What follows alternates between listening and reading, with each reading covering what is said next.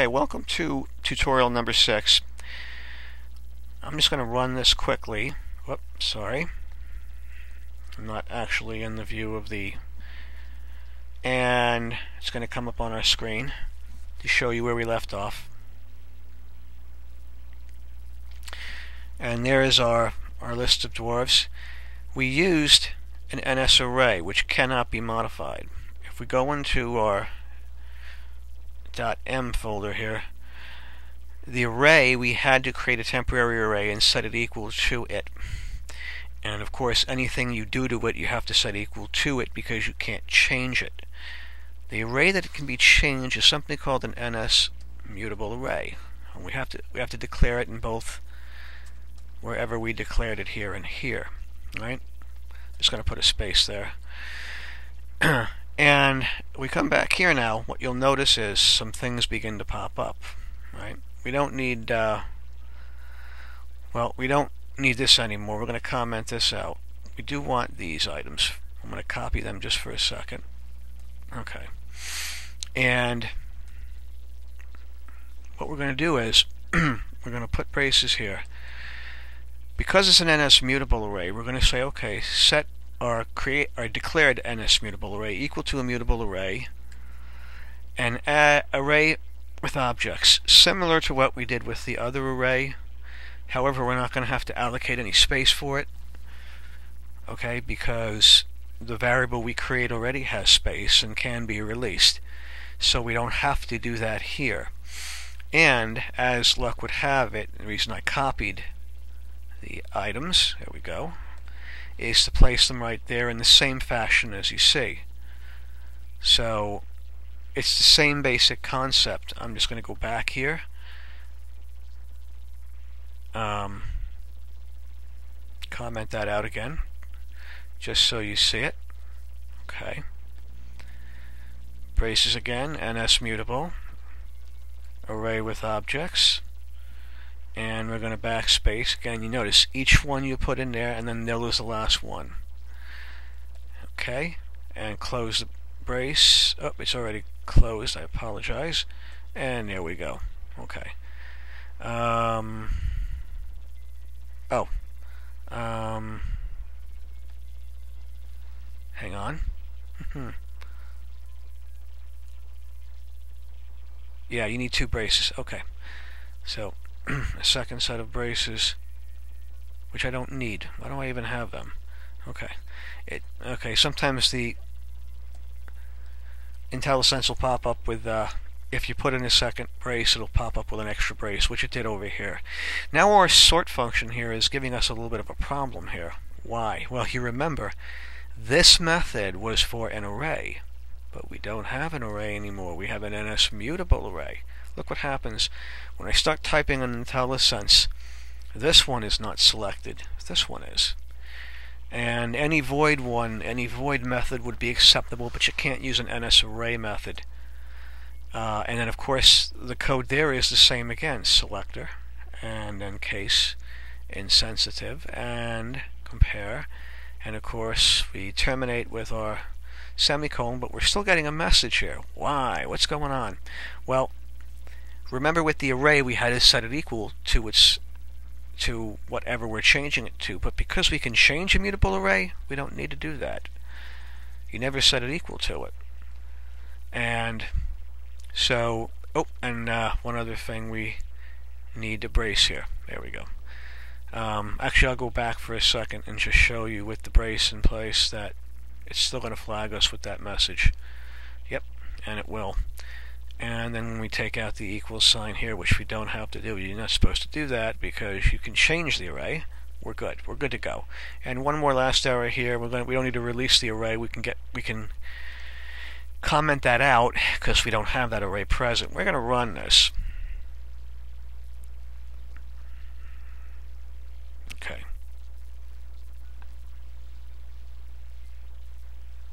And we're back again to square one. We, as as if we had done nothing, but we did something important. We created an array which can be changed. Now, we had one, two, a one, I'm sorry, one, two, three lines of code are now 2. We even cut down the code. So how do we then come over to the main view nib where we have our keys. How do we then connect these to code? Okay. We need to type in an, uh, an action. IB action, right?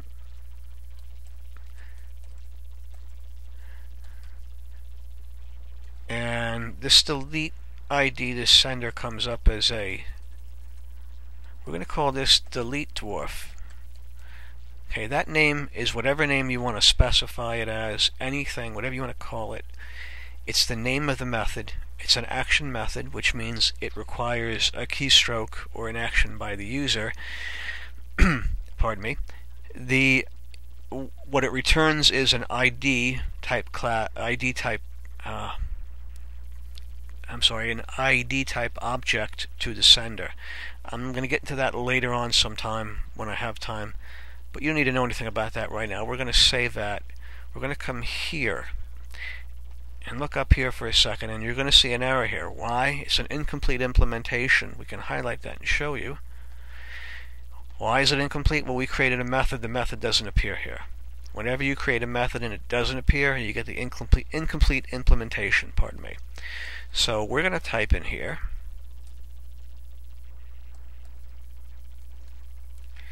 hmm, hmm, hmm,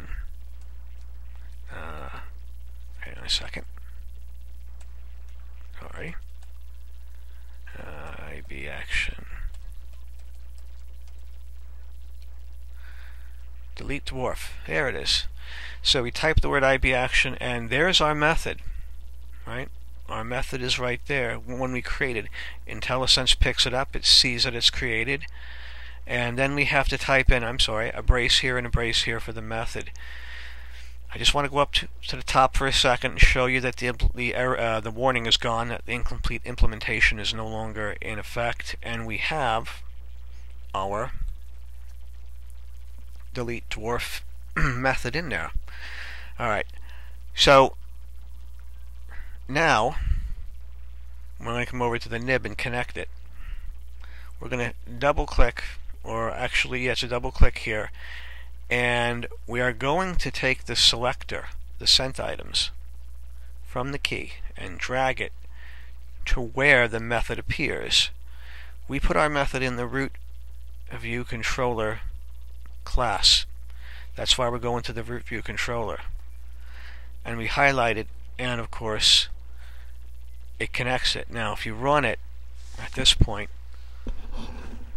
which we will do,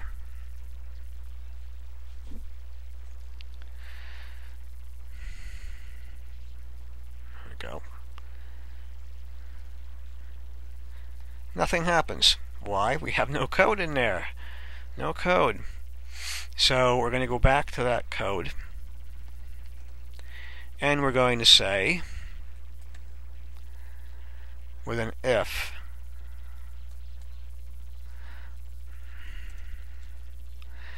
Uh, actually, I'm going to just copy the code from another project to make life easy. Um, just hold on a second because it's a bit of code here and I want to get it correct. There it is. It's self-editing. That's what I was looking for when I said editing. We're going to copy that and put it back in here. I'm going to discuss what this is so you know what it is. Alright, it says if we're editing the actual class. If that is false, if we're not doing that, then set it the editing to yes and animate it. Otherwise, if we are editing, don't do it. So what does that do? We're going to run that and show you what it does. It opens up these editing buttons here. Right? Now if you do something with it, it just hangs up. There's nothing to I want to close this for a second and tell you why this second set of lines is here. So you understand it. Gotta comment that out too. Okay. If I don't put the second set of lines in, what I'm saying is just set the editing to true and animate it. But now I can't undo it. So now I have to allow a, a second click to say, okay, undo my, my action, which is really what that is. Look and see if I'm in edit mode. If I am, set it to false, or take it away. Let's go back and just show you that it works. We're almost done here in this session. There it is, right? And now it goes away. But now, I can't delete anything. It hangs up. Why? What allows me to delete something? There's a method here. We're going to uncomment it. The editing style method, right? It says if editing style is this allows you, this is looking at what the editing style is. It's either going to be delete or it's either going to be insert. Okay? It's an if-then routine. If-thens are popular in Xcode, and we'll talk about them at some other time get into detail with them so you understand what they are. But in this case, it says if the editing style is in delete mode, then do something. Well, we have no code there, so it does nothing. We're going to put the code in there. One piece of code you see here is, to, is in the table view. Delete rows at index path with animation and then fade. Well, we can do that now, but nothing happens because we haven't gotten rid of what? The item from the array. We need to do that. So we need to bring up, we'll do this in uh, quotes, uh, rather in braces again. Uh, oops, I'm sorry. Self, uh, list data, um, remove object at index. We need something to pull the object out from the array. You remember we had a piece of code up here. Let's go up here. I'm going to go back to this code for just a second, but I want you to see something. You remember we had this code here? Remember this one here? I'm going to copy this for a second and come down here. I could place this code here as well and just type in row here. Alright. I need to remove the object at the index path row position. Alright. I could add that code if I want to, like I did above, to actually fill the cells. But I'm going to leave it. Why? Because you might guess it's easier to have one line of code than two. Now, if I had a lot of these that I would need to access that index path row, then that extra line of code would come in handy. Okay, so what does this say? Look at the array, remove the object you see at the index path, and then delete it from the table. Let's run this and see what happens. Okay, we're going to click here. Let's get rid of Grumpy. And Grumpy goes. Let's get rid of Doc. And Doc goes. I mean, we could continue this here. Sleepy. Sleepy goes. And you notice the dwarf numbering is the same, and Dopey goes, right? And so does Sneezy. And alright, Bashful, we, we want you to go too. And Happy's the last one. We like Happy better than anything, but we'll get rid of Happy. And now, of course, since there's no edit, nothing to edit here, the editing mode won't come up. But here's something much more important. Watch what happens when we shut this down again and then we start it back up.